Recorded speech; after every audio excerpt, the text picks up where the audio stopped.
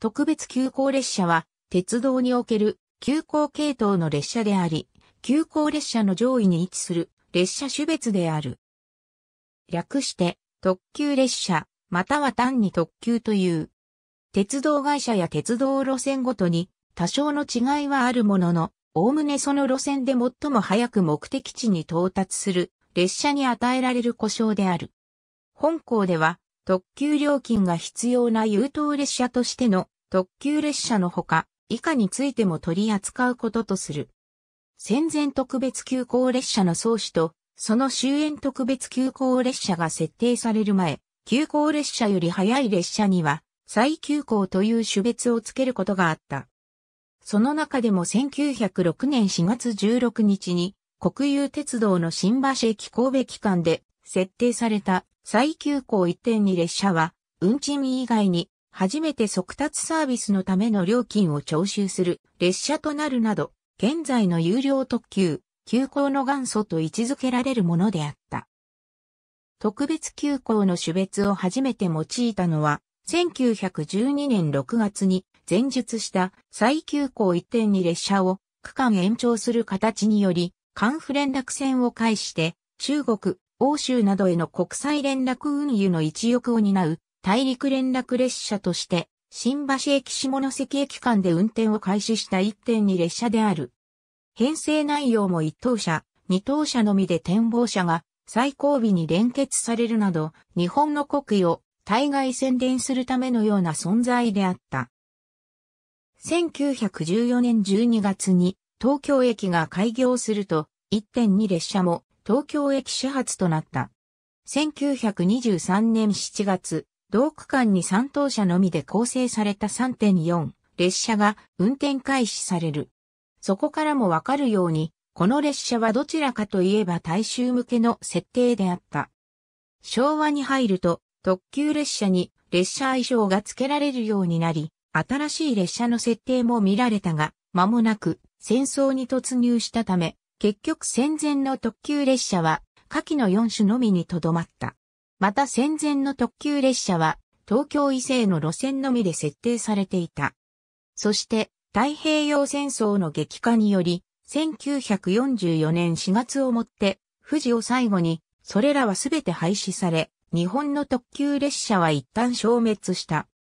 この時期の特急列車太平洋戦争後の復活と、その後の展開終戦直後は、石炭、車両、整備の状況が戦時中以上に悪化したこともあって、特急列車どころか普通の列車すらまともに運転できない状態となり、1947年の1月から4月にかけては急行列車まで全廃された。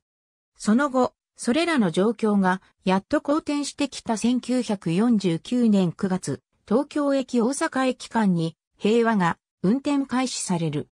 同区間を9時間で結び、速度こそ戦前の水準に及ばなかったが、この時1944年以来5年ぶりに展望車、食堂車が復活するなど見るべきことは多かった。特徴のある特急列車小玉その後、特急列車は次第に各線で設定、増発され、特徴あるものも増えた。戦後の特急列車史に残る列車としては、下記の列車などが挙げられる。特急列車運行の全国展開特急列車が普及したダイヤ改正として著名なものには、1961年10月1日の改正と1968年10月1日の改正がある。1961年の改正ではそれまで東北、東海道、山陽、鹿児島、長崎の各本線と常磐線でしか運転されていなかった。特急列車が全国の幹線を走り始め、1968年の改正では、それまではその名の通り、特別な列車であった。特急列車が、需要の多い線区では1964年10月に開業した東海道新幹線と同様、ネットダイヤ化が進み、大衆化をも推し進めることになった。この時期の著名な列車 L 特急の登場とその後の展開1972年10月より一部の中高特急には L 特急という愛称が与えられた。後に従来の急行列車を昇格して特急列車とした際にもこの扱いを行うことが多かった。しかし JR 東日本が2002年12月に L 特急を名称上全廃したのを皮切りに他の JR 各社でも L 特急の名称が廃止されていった。最後まで L 特急の名称が残った JR 東海も2018年3月のダイヤ改正で L 特急の名称を廃止したため、登場から45年半で L 特急の名称は消滅した。1972年から1985年にかけて山陽新幹線、東北新幹線、上越新幹線といった新幹線が次々と開通するにつれ、長距離を走る特急列車は新幹線にとって変わられる形で次第に減少し、それと引き換えに新幹線の沿線から離れた都市と新幹線との連絡、接続を図る中から短距離の列車が増えていった。1985年3月から2002年12月までの間、東北本線、高崎線などでは、同線内相互間の輸送を目的とした一部の L 特急を新特急と称していた。もともとは単、中距離の急行列車を増収のためほとんど停車駅は変えず、特急列車に格上げしたもので、定期券でも乗車できることとし、料金も 50km 以下の区間は、急行料金と同額とするなど、特急と急行の中間的な設定にされた。しかし前述のような理由で設定された特急であり、使われていた185系電車はそれまでの特急列車の車両より設備が劣り、関西では快速列車に使うような車両にデッキをつけただけのようなものであったが、後に座席は通常の特急用と同じものに交換された。2001年12月にそれ以外の列車と特急料金が同額になり、新特急を列車名に関する必要がなくなったためか翌年、消滅した。ちなみにその頃までには、東北本線の新特急は朝夕の時間帯を除いて、一般車仕様の快速に格下げされ、高崎線の新特急もアコモデーションのリニューアルや、日中時間帯の停車駅の大幅な削減などの改善策が行われた。また、湘南新宿ラインの開通後は、東北、高崎線の快速、普通列車においてもグリーン車の連結が行われるようになったため、旧新特急が担当していた高崎線内相互間の着席輸送においては、快速、普通列車のグリーン車の拡充を重視する傾向になっている。2004年3月に九州新幹線が開通して以来、JR 九州は、霧島の内霧島神宮、国部発着のものや、隼人の風、また2009年10月10日から運転の海幸山幸といった臨時特急列車などが存在するが、これらの列車は停車駅こそ限定されてはいるもの、いずれも同区間を走る普通列車と同等か、それより遅い列車も存在する。これは速達性を意味する特別な急行列車の意味ではなく、新幹線との接続性を重視しているものや、また車内設備のサービスに対して料金を取るか取らないかどうかや、観光に特化したサービスの提供などといったサービスの違いで、快速列車、普通列車などと区分するために、特急列車を名乗らせているものである。このような観光に特化した特急列車のことを JR 九州では便宜的に観光特急などと呼ぶことが多い。編成について1950年代までは客車による長大編成が組まれた。しかし、1960年代以降、速達化を図る観点から中高列車から使用車種を電車、機動車へ変更していくこととなった。この発令としては、運用の効率化を図った登場時の151系電車を用いた小玉号の編成がある。詳細はこちらを参照されたいが、これは簡易食堂、ビュフェ付き3等車と2等車を編成中央に組み込んで8両編成で運用するものであったが、速達化、快適性の向上がなされたため、在来特急列車の電車化を行う際には、運用の効率化よりも在来編成とのすり合わせがなされたため、10から12両で運用された。しかし、利用者が少ないとされた線区での使用が予想された、キハ82系機動車では、食堂車と一等車を各1両備えた6、両編成を基本とした編成が基本とされた。電車でも2等車の両数の差があるものの、編成が短くなり、おおむね8から12両程度で運用される、従来のものから大きく変容するようになる。その発例として、1976年に設定された佐世保線、L 特急、緑では485系電車申請車両では、最も短い4両編成で運用される事例が見られるようになった。ただし、緑の事例は、カモメと並結運転を行う多層立て列車として運行する関係もあり、線路容量が小さい路線での措置として異例とされた。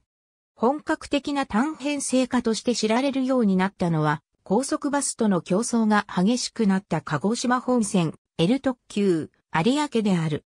この列車群では、車種統一を図った1984年以降、改造車両を用い、一本あたりの編成組成を短くする代わりに本数を増発する手法を取ったため、1986年には3両編成を組んだ特急が運行されるようになった。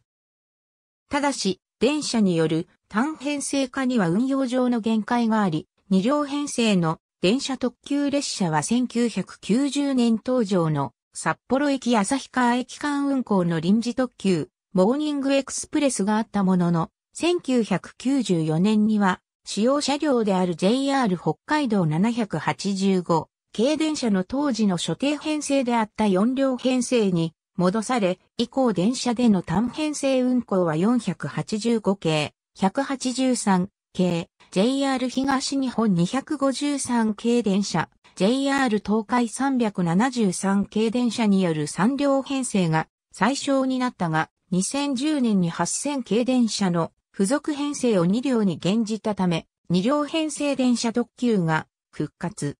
後継となる JR 四国パス1600系電車では、2両をまたは3両編成で製作、運用されている。しかし、機動車ではキハ82系機動車の編成をもとに、設定したキハ181系機動車、キハ183系機動車では大出力エンジンを積むや極寒地仕様のため戦闘車両は非貫通としたこともあり、例えばキハ181系機動車は2両で運行することは可能であるが、便所がない、座席数が少ないという問題もあった。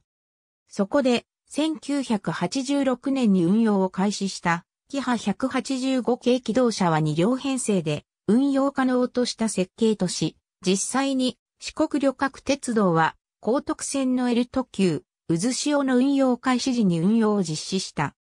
なお、同車両は2016年現在2から3両の単編成で運用されることが多く、当初よりの所有会社である JR 四国では主に徳島県内の特急列車群で、一部は九州旅客鉄道が購入し久し大本線、宝肥本線を運行する特急列車群で運用されている。また、西日本旅客鉄道では、急行系機動車の置き換えないしは、地域輸送の高速化という観点から、キハ185系機動車以降にて2両固定編成での運用を前提とした JR 西日本キハ187系機動車を申請した。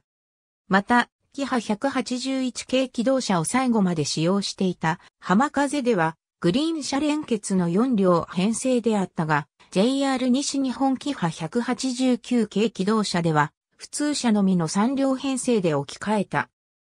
客車については定員が少ない寝台車を中心にして運行されたこともあるため、食堂車、電源、荷物車を込みで10から15両程度の長大編成を組んでいたが、14系客車では、サービス電力を高出力ながら、乗客を乗せない、専用の電源車ではなく、編成の端に連結する環球車より供給する、関係で6両程度で蘇生をすることとなり、その編成単位の組み合わせで運行されるようになった。しかし、1980年代以降、長期的な夜行列車、寝台列車の凋落傾向から必ずしも重量程度の需要がないことから単編成化された列車も存在した。中には廃止直前の水星のように開放式 B 寝台車のみの4両編成で運行された列車もあった。また、富士、はやぶさは運行末期である2005年より2009年の廃止までは、文字駅以降の JR 九州間内においては6両、編成、東京駅文字駅間ではそれを2編成組み合わせた12両で運行されていた。なお、末期の寝台列車で運用されたものの編成は以下の通りであった。編成の長短についてなお、2017年3月4日現在で最長編成の列車は以下の通りとなる。新幹線列車の扱い新幹線新幹線で運行される列車も特急列車として分類される。1975年3月まで速達タイプの光と各駅停車タイプの小玉は料金に区別があった。また、1972年3月までは、光は超特急、小玉は特急として区別していた。1992年3月に登場したのぞみも、光、小玉とは料金に格差が設けられている。ただし、2003年10月1日に、のぞみにも自由席を設定したが、これについては、光、小玉と同一料金である。在来線と直通する列車も特別急行列車と定義されている。このため、博多南線運行列車や翼、小町も特別急行列車である。遠隔にある通り、JR の場合特急列車を利用する場合、乗車券の他に特別急行券が必要である。料金などの詳細については、特別急行券の項を参照されたい。特急列車への定期乗車券での乗車は原則として認められていないが、近年は特例として一部の列車、路線で定期乗車券に自由席特急券ないしは率、席特急券を追加すれば乗車が認められるようになってきている。現在では自由席については昼行列車の全列車が定期乗車券との組み合わせで乗れるようになった。しかし、指定席は認めていない場合も多い。特急料金が不要な区間普通列車が一切ないなどの理由で特急列車に乗車しても特急料金がかからない区間がある。特別急行列車用車両のレータの種別の列車の車両と異なる特急系車両を使っており、高速性能や座席などの車内設備が他の種別の列車用より優れている。原則として特急列車に専用されるが、利用客の少ない末端区間で普通列車になる場合や、運用の関係で全区間普通列車として運転される場合もある。国鉄 L 特急の翼とトレインマーク国鉄時代の特急の特色として、綺麗なデザインが施されたヘッドマークやテールマークがある。列車の前後、中央部に目立つように掲示したものである。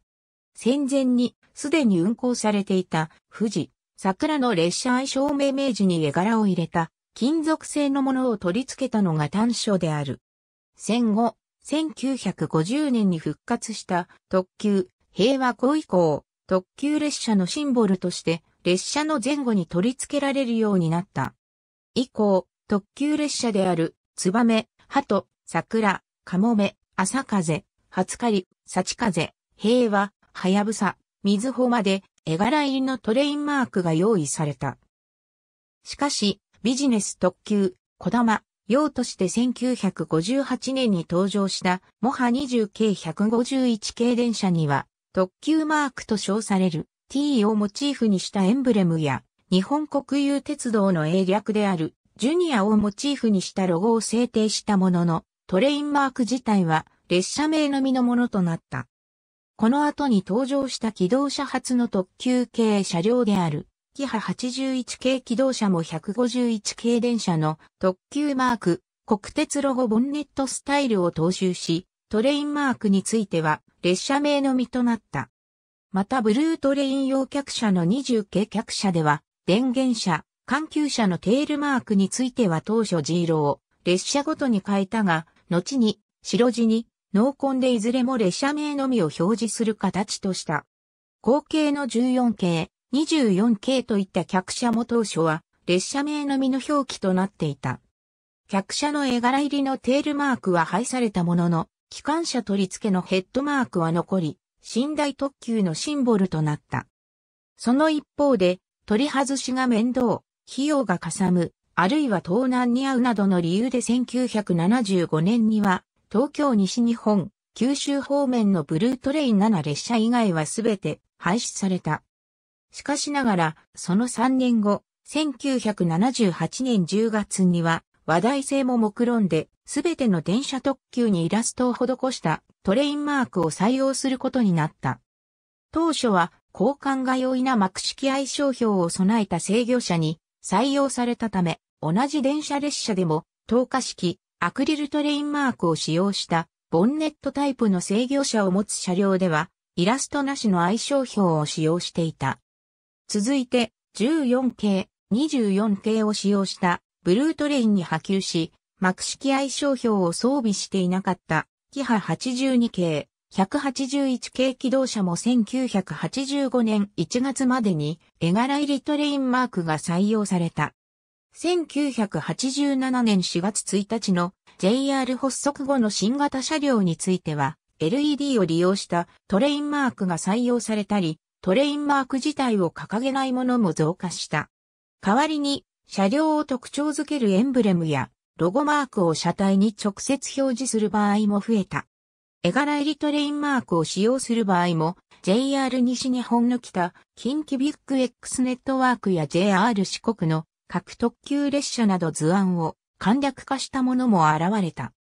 阪和線の前身である阪和電気鉄道時代より道路線では特急や超特急といった無料の速達列車が運行されていた。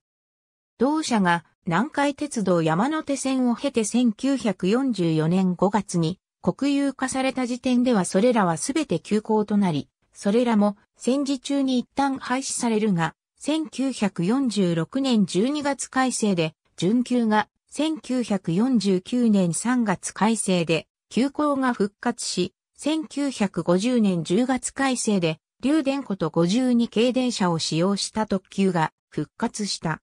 これらの列車は他の国鉄特急とは制度的に別種の列車であり、また国電区間で初めて設定された特急であったことから、阪和線の特急は特急電車と呼ばれた特別された。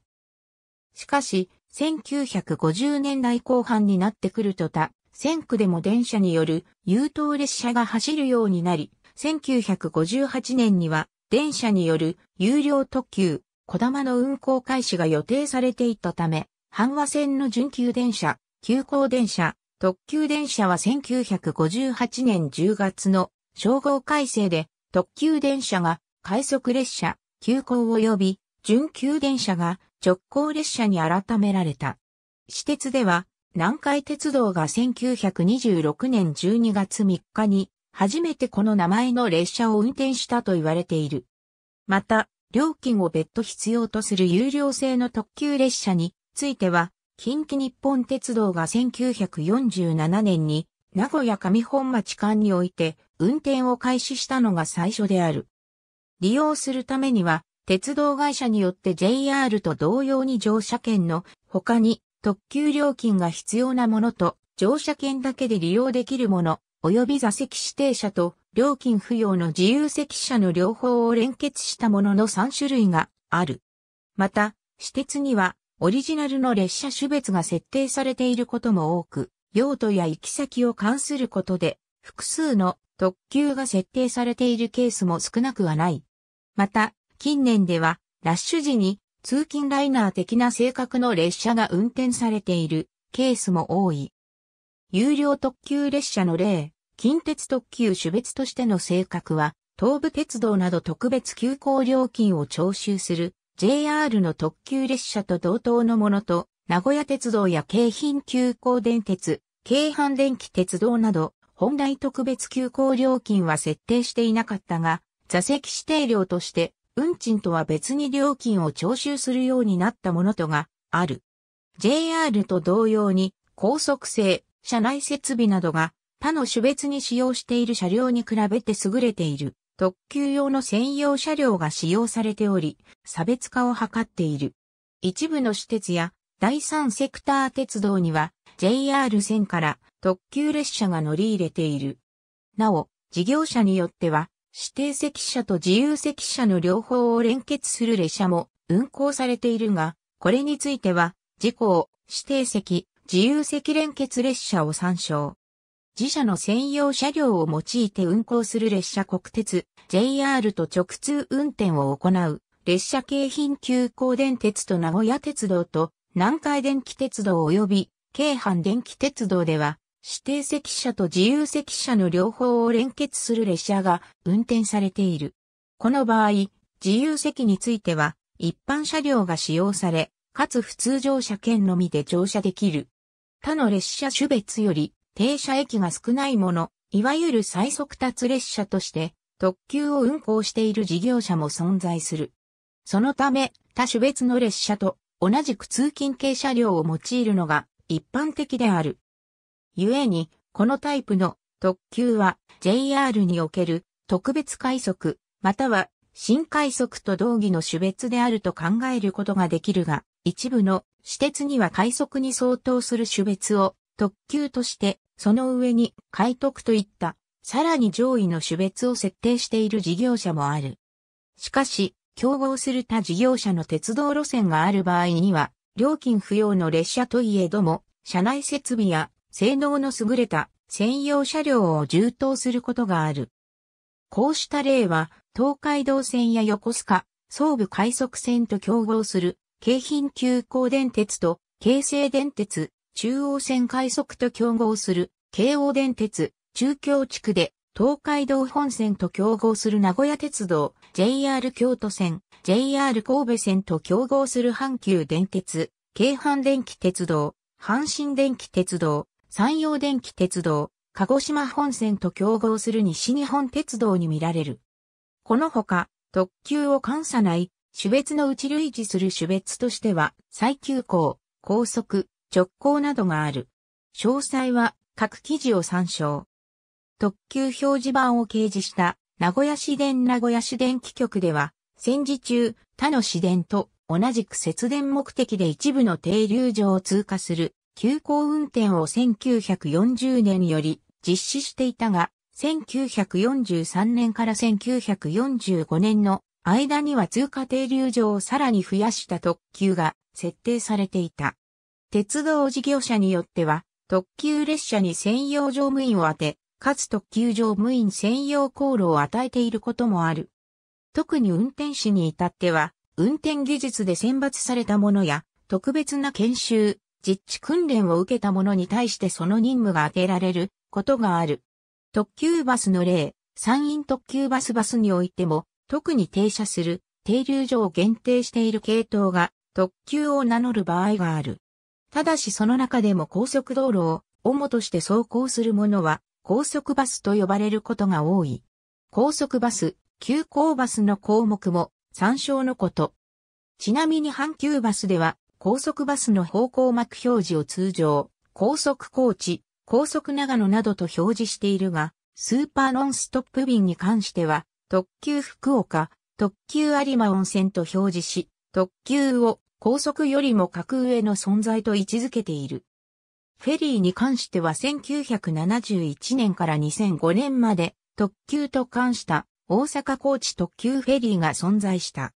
列車種別の分類は国や鉄道事業者によってまちまちであるが、その内他の列車より早い専用車両を用いる特別料金を必要とするなど、日本の特急に近い性格を持つもののことを日本語で特急と表記することがある。ただし性格を記する必要のある場合には、言語表記やその直訳、カナ転車などが用いられる。また TGV やアイスなどの高速鉄道の列車は、超特急や新幹線と訳されることもある。韓国では、1984年まで韓国、国鉄において、トゥックプという種別が存在した。同年以降、長らく、韓国に特急という種別は存在しなかったが、2017年より首都圏電鉄1号線の速達列車として特急が新設された。なお、現在の韓国鉄道公社の長距離座席指定列車である KTX、ITX セマウルなどの列車では、観光ガイドなどで便宜的に特急という表現が使われることがあるものの、愛称が列車種別を兼ねているため、正式には特急の名称は使用していない。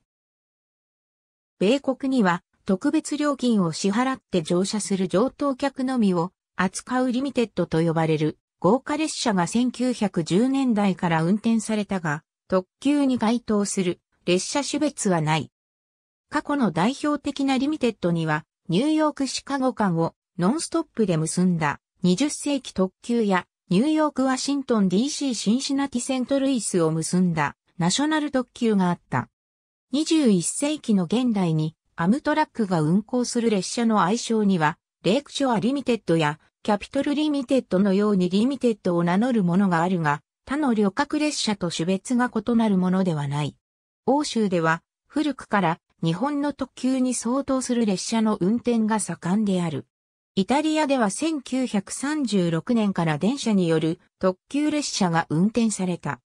1957年にはヨーロッパ各地を日帰りで行き来できるビジネスライクな T 列車網が整備され、これらの列車には特別急行券を必要とした。その後は、インターシティインターシティ列車に変更された。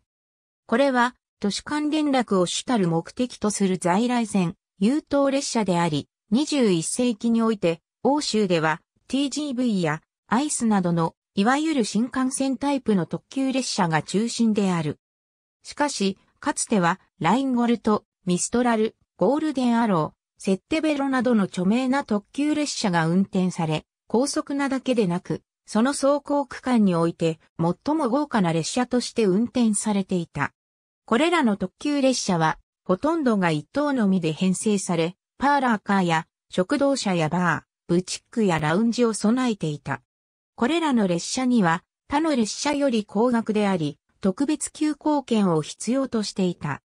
通常英訳には、かつての米国の例に習い、リミテッドエクスプレスが当てられるが、米国では鉄道旅客輸送の衰退に伴いほとんど死後になっている。ただし、サンセットリミテッドのようにアムトラックが引き継いだ列車愛称の一部にその名残が見られる。事業者によってはこれをリミテッド EXP、リミテッド、エクスプレス、リミテッド、EXP などと略すが、京王電鉄では special express となっている。 limited がつくと制限されているのでむしろ急行より遅いという誤解を生むほか、鉄道事業者ごとに訳語が違ったり、特急券が必要だったり、不要だったりするため、外国人には理解困難な状態になっている。例外ではあるが2015年3月のダイヤ改正時点でも有料特急の所要時間が通勤快速と同等の路線がある。また、特急停車駅の海浜幕張駅を通勤快速は通過するのも異例である。私鉄では、速達列車は料金徴収の有無を問わず優等列車として扱われることもあるが、料金不要列車も優等列車の範疇に含めるかどうかは事業者によって異なり、京王電鉄のように料金不要列車には速達列車であっても優等列車という表現を用いない事業者もある。なお、鉄道ファン1991年12月号のキハ80系、キハ181系の記事によると、当時の時刻表の編成図には、一等車は、ロ、二等車は、ハ、食堂車は、死と記載されていたため、編成は、はははしろはとなり、は、は、はっちらはとダジャレめいた表現で、編成内容を覚えることができたとされる。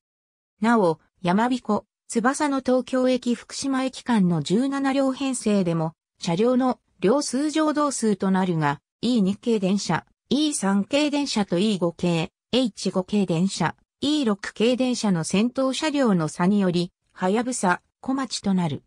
水穂については、小玉登場以降だが、運行当初は在来系車両での運行であるためこれに含める。例えば、朝風は薄水色、桜は桃色、はやぶさは黄色、水穂は水色で文字が黄色。ただ、当時は名古屋線と大阪線で期間が異なっていたため、伊勢中川駅での乗り換えを要していた。近鉄において、名阪間の直通運転が可能になったのは1959年12月のことである。JTB パブリッシング、JTB 時刻表2015年3月号、京葉線のページを参照。鉄道旅行案内。大正5年版、鉄道省年報。大正12年度、ハット ABC、鉄道省年報。昭和4年度、鉄道省年報。昭和5年度ハット PHP 研究所、梅原厚雑学3分間ビジュアル使いシリーズ特急列車のすべて P78AB 寺本光輝、阪和線列車運転士、鉄道ピクトリアル第728巻、鉄道図書館公開、2003年2月、50ページ。寺本光輝、阪和線列車運転士、鉄道ピクトリアル第728巻、鉄道図書館公開、2003年2月、51ページ。PHP 研究所、梅原厚志雑学3分間ビジュアル使いシリーズ特急列車のすべて2010年7月 P30P31 今尾圭介、原武史、日本鉄道旅行歴史地図帳1号北海道全線全駅全優等列車新庁舎2010年54から55ページ ISBN 978から41億790万357。AB 今尾圭介、原武史、日本鉄道旅行歴史地図帳11号中国四国、全線全駅全優等列車新庁舎、2011年56ページ。ISBN 978から41億790万456。今尾圭介、原武史、日本鉄道旅行歴史地図帳5号首都圏私鉄、全線全駅全優等列車新庁舎、2010年、47ページ。ISBN 978から41億790万395。今尾圭介、原武史、日本鉄道旅行歴史地図帳5号首都圏私鉄、全線全駅全優等列車新庁舎、2010年、48ページ。ISBN 978から41億790万395。AB2019 年3月16日東部、東上線ダイヤ改正東上線に新種別、川越特急が誕生します東部鉄道。2019年1月17日、今尾圭介、原武史、日本鉄道旅行歴史地図帳6号北新越、全線全駅全優等列車新庁舎。2010年56ページ。ISBN 978から41億790万401。AB 今尾圭介、原武史、日本鉄道旅行歴史地図帳7号東海、全線全駅全優等列車新庁舎、2010年50ページ。ISBN 978から41億790万418。AB 今尾圭介、原武史、日本鉄道旅行歴史地図帳7号東海、全線全駅全優等列車新庁舎、2010年、51ページ。ISBN 978から41億790万418。徳田光一、名鉄の廃線を歩く JTB、2001年、36ページ。ISBN 978から45億3303万9232。今尾圭介、原武史、日本鉄道旅行歴史地図帳7号東海、全線全駅全優等列車新庁舎、2010年、54ページ。ISBN 978から41億790万418。徳田光一、名鉄昭和のスーパーロマンスカー。JTB パブリッシング2015年75ページ。ISBN 978から45億3310万6392。今尾圭介、原武史、日本鉄道旅行歴史地図帳7号東海、全線全駅全優等列車新庁舎、2010年53ページ。ISBN 978から41億790万418。今尾圭介、原武史、日本鉄道旅行歴史地図帳7号東海、全線全駅全優等列車新庁舎、2010年、55ページ。ISBN 978から41億790万418。AB 今尾圭介、原武史、日本鉄道旅行歴史地図帳7号東海、全線全駅全優等列車新庁舎、2010年、48ページ。ISBN 978から41億790万418。ABC 今尾圭介、原武史、日本鉄道旅行歴史地図帳10号関西私鉄、全線全駅全優等列車新庁舎、2011年、33ページ。ISBN 978から41億790万449。今尾圭介、原武史、日本鉄道旅行歴史地図帳10号関西私鉄、全線全駅全優等列車新庁舎、2011年、43ページ。ISBN 978から41億790万449。ABC 今尾圭介、原武史、日本鉄道旅行歴史地図帳10号関西私鉄、全線全駅全優等列車新庁舎、2011年、48ページ。ISBN 978から41億790万449。今尾圭介、原武史、日本鉄道旅行歴史地図帳10号関西私鉄、全線全駅全優等列車新庁舎、2011年、51ページ。ISBN 978から41億790万449。今尾圭介、原武史、日本鉄道旅行歴史地図帳10号関西私鉄、全線全駅全優等列車新庁舎、2011年、57ページ。ISBN 978から41億790万449。週刊、歴史で巡る、鉄道全路線、大手私鉄ナンバーワン例、京浜急行電鉄今尾圭介、原武史、日本鉄道旅行歴史地図帳10号関西私鉄、全線全駅全優等列車新庁舎、2011年、55ページ。ISBN 978から41億790万449。